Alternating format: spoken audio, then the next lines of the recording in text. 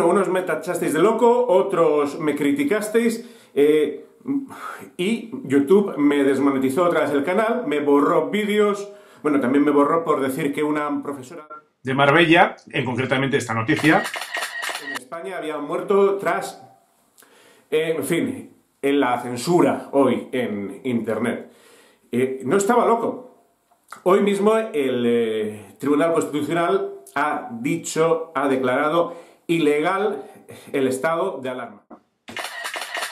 Bueno, inconstitucional para secuestrarnos en nuestras casas. Esto lo dije yo en vídeos anteriores, podéis mirarlos los que no haya borrado YouTube, porque YouTube tenía la política de que cualquier vídeo que fuese en contra de la OMS o en contra del gobierno se borraba sin decir nada a nadie.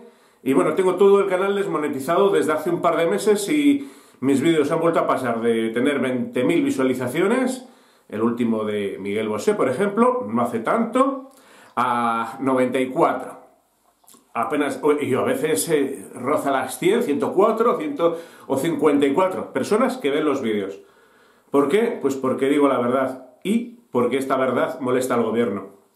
y no lo digo yo, a ver, lo dijeron juristas, Gisbert en su plataforma, en, su canal de YouTube también lo planteó, Bernard me parece que también, Asier, un abogado contra la demagogia, o sea, hemos dicho eh, la verdad, eh, hemos analizado que, y os voy a leer tal como lo dice, por ejemplo, ABC hace una hora.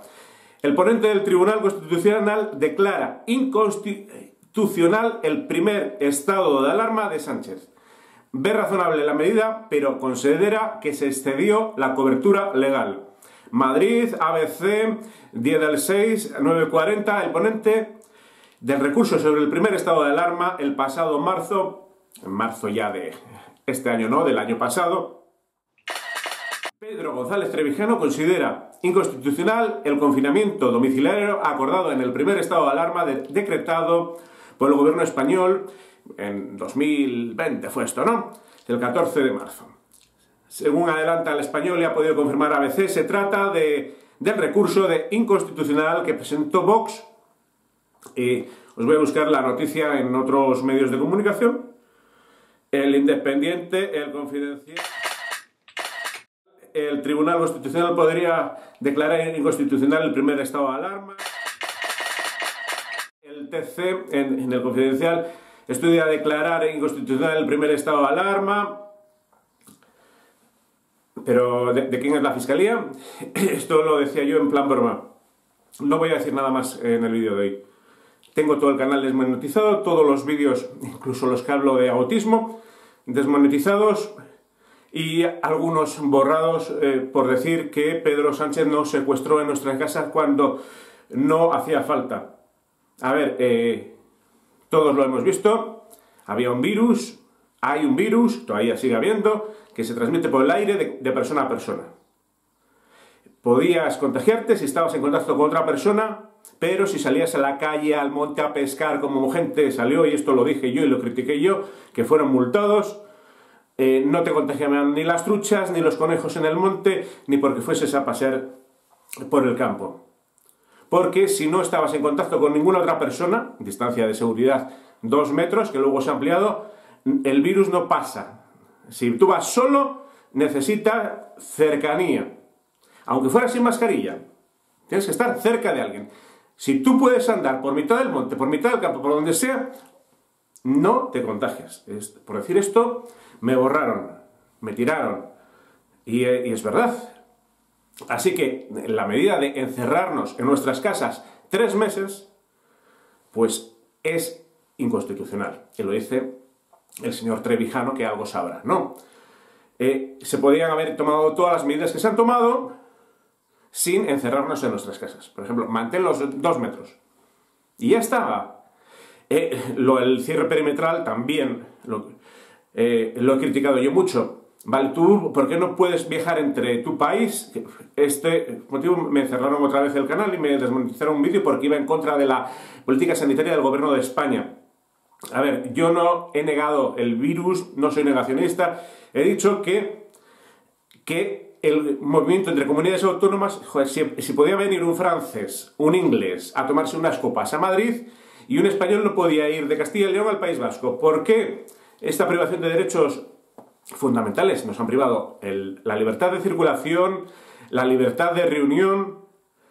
Eh, vamos a ver, yo no estoy diciendo de reunirme con 500 eh, amigos y hacer un botellón. Estaba diciendo de pasar estas navidades con mi familia, con mis padres, con mi hermano. igual eh, pasar 10 días de cuarentena y pasar otra cuarentena antes de ir y no tener contacto social con nadie. Pero también nos limitaron, confinamiento perimetral. Bueno, eh, medidas como la, la de Feijóo, 600.000 euros, o sea, 100 millones de pesetas de multa a quien no se vacunase, que también se la tiraron los tribunales, por cierto. Perdón, eran 60.000 euros. Y aquí eh, los tribunales se la tiran.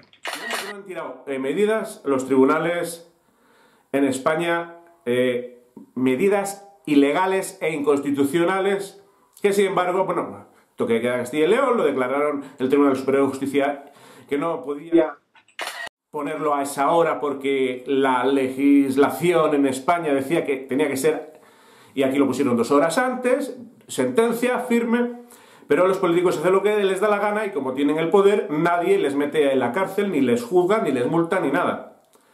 Y espero que todas esas multas, bueno, la policía encima, haciendo caso a órdenes que aparentemente yo no soy jurista, pero es, que me parecía ilegal. Pues multando a gente por, por saltarse los toques de queda, por, por salir a la calle, por ir a pescar a mitad del monte eh, en la primera ola del estado de alarma, y ir a pescar solos. O sea, eh, toda esa gente, ahora me pregunto yo, Pedro Sánchez, toda esa gente que se ha vuelto loca, que eh, hay mucha gente que ha cogido ataques de depresiones, angustias, ansiedad, que están mal de la cabeza por tenerlas encarceladas eh, tres meses cuando no hacía falta encarcelar a la población, pero así presumía la Europa, es que tomamos las medidas más restrictivas. El 8 de no hicimos nada, lo celebramos, eh, animamos a salir a la calle, eh, estalló la bomba, se contagió todo el mundo y luego ahí somos los más restrictivos, estuvimos tres meses secuestrando a nuestros ciudadanos y ninguno de los ciudadanos le ha dicho nada. Eh, ahora divorcios, eh, gente, gente que se suicida, se ha suicidado. Que como esto se silencia nunca se sabe. Mm. Como soy periodista, si queréis saberlo, os pongo aquí cuatro artículos que he buscado. Dad al pause y podéis leerlos. Me parece increíble que para Tony Cantó, que se vaya a presentar a la lista electoral de Madrid en cinco días, hubiese sentencia, y para esto del Tribunal Constitucional de han tardado meses y meses, pero bueno, más vale tarde que nunca y por fin eh, sabemos la respuesta, algo que ya eh, diferentes abogados, youtubers, eh, juristas y demás, y personas como yo, dijimos que era ilegal o parecía ilegal que bajo la figura del estado de alarma, de excepción sí, pero no había motivos para declarar estos estados de de excepción. Pero podrían haber mantenido en, Milán, en Italia, todos vimos dos metros, que decía la policía en la calle, y, en, esto en ciudades grandes, en el campo, en pueblos despoblados, como es la, la España hacía, que se mantuviese estas medidas como otras que se han mantenido ahora, como llevar mascarilla en mitad de la calle, cuando en la calle no te encuentras a nadie porque no hay vecinos, pues una aberración. Pero bueno, lo que tenemos de políticos es esto, una aberración. Y, y el malo luego soy yo. Eh, como esto tiene la policía y la fiscalía de su parte, pues eh, no les pasará nada. Muy buenos días. Si te gusta nuestro canal y quieres seguir viendo más vídeos como estos, suscríbete. Es gratis y YouTube te avisará cada vez que subamos un vídeo. Y si te ha gustado este vídeo, dale un like. Muchas gracias.